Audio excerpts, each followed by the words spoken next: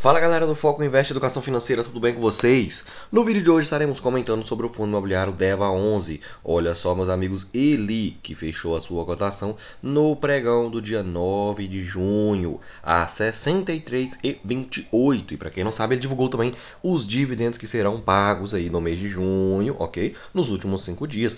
Veja que bacana, não? O fundo vinha nesse patamar 68, né? 67, divulgou dividendo descontou, né? Olha só, bonitinho aqui para vocês e já veio aqui mais uma vez para o patamar de 63 reais. Porém, muita gente está reclamando, nossa, o desconto foi muito grande. Ele veio somado, né, meus amigos, aqui a uma queda também. O mercado não gostou, ok? O mercado não gostou da redução do dividendo mais uma vez. Ele vinha ao patamar e ele caiu. Eu vou mostrar para vocês daqui a pouquinho. Porém, antes, eu queria pedir você que está chegando por aqui agora no canal, inscreva-se e ative o sininho de notificação para não perder os nossos próximos vídeos. E claro, quem gostar do nosso conteúdo, não esquece de deixar aquele gostei, viu? Clica no joinha aí e no botão de inscrever-se. É de graça e não paga nada. Qualquer dúvida ou sugestão, já comenta pra gente logo abaixo nos comentários. O meu nome é Lucas e bora pro vídeo.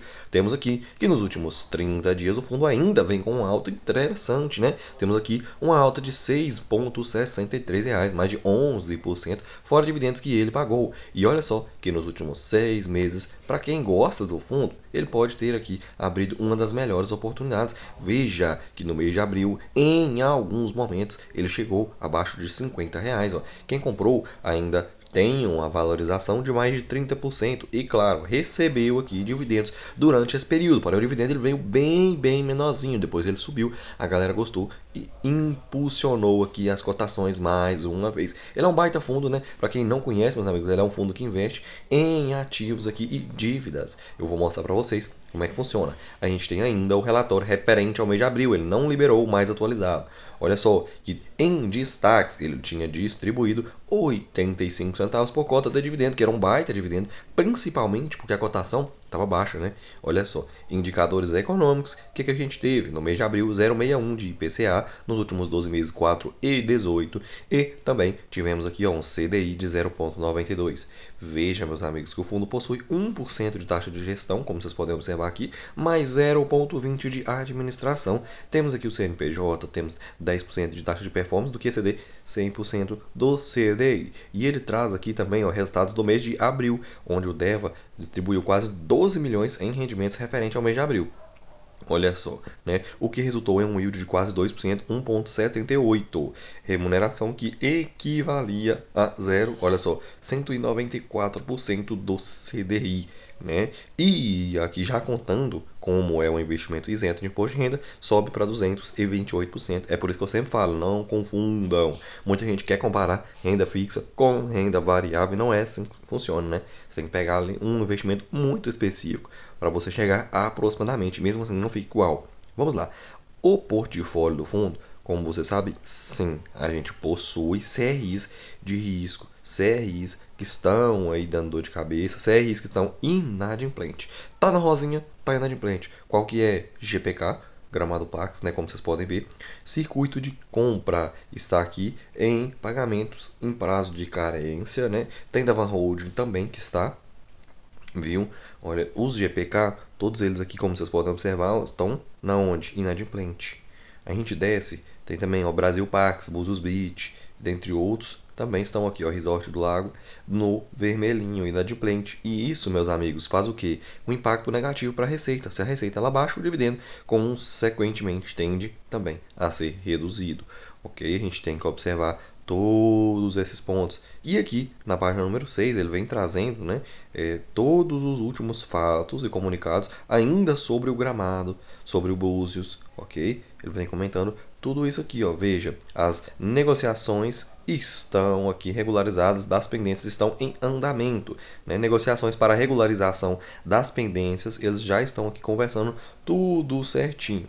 Aqui, esses CRs ficaram inadimplentes, ou seja, não estão pagando. Assim que encerrar, tiver tudo certinho, eles vão comunicar aqui a todos nós, bem como também a questão aqui do gramado Pax, e eles vêm comentando ok? Tudo isso aqui pra gente, ó. Vale a pena você baixar e avaliar com calma aqui, né, meus amigos, esse último relatório gerencial, para a gente ter uma noção. Através deste, já dava para prever que ele poderia ter uma queda nos seus dividendos. Por quê? A gente tem grande parte do portfólio comprometido. Não é todos.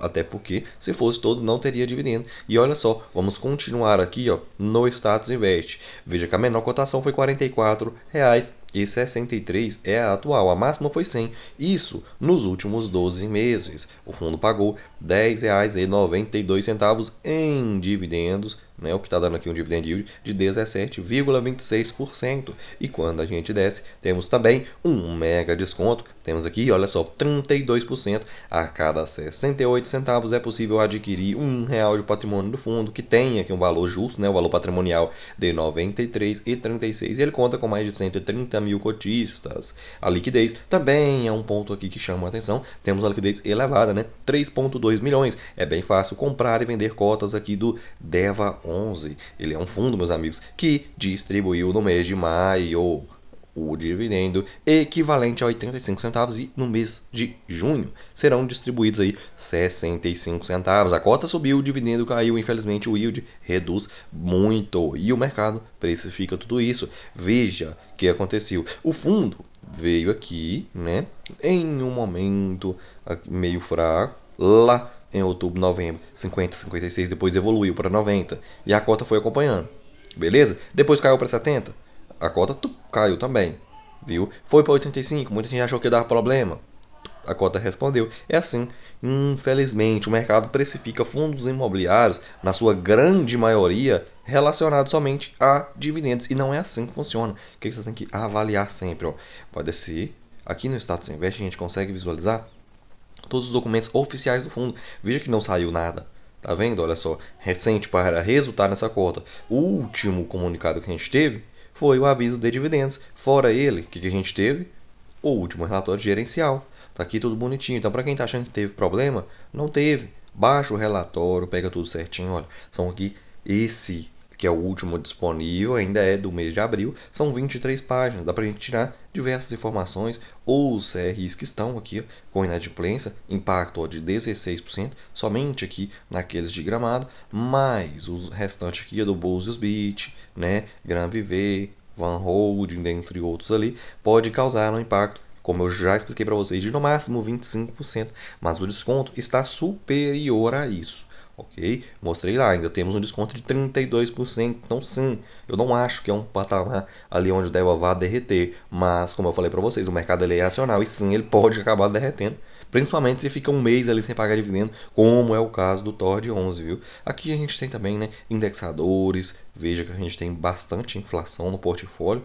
Veja só, IGPM mais 10, IPCA mais 10, INPC mais 9, viu? CDI mais 7 aqui, também, né? E uma diversificação geográfica interessante, presença em diversos estados brasileiros, com detalhamento de todos os nossos CRIs e também imagens. Não tenho nada para reclamar desse relatório, não vou me aprofundar muito porque ainda é referente ao mês de abril. Eles estão aqui atrasando um pouquinho, eu não estou gostando desse ponto, ok? Meus amigos, esse foi o vídeo de hoje, né? Quem gostou, não esquece de deixar o seu gostei, ok? Qualquer dúvida ou sugestão, comenta pra mim logo abaixo nos comentários. Inscreva-se no canal e ative o sininho. O meu nome é Lucas. Eu vou finalizando por aqui. Uma ótima semana, bons investimentos e até a próxima.